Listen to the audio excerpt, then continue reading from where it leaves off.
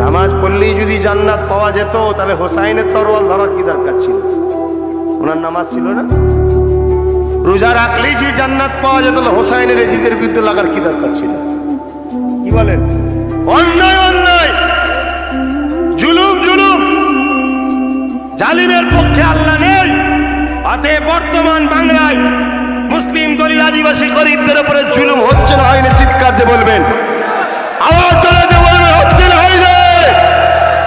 অতএব এই জুলুম যতক্ষণ না বন্ধ হবে, আব্বাস সিদ্দিকীর মিশন লড়াই চলবে। আমি দু হাজার ষোলো থেকে বলেছিলাম, জুলুম বন্ধ করো। শোনেনি চল, শুনতে হবে না।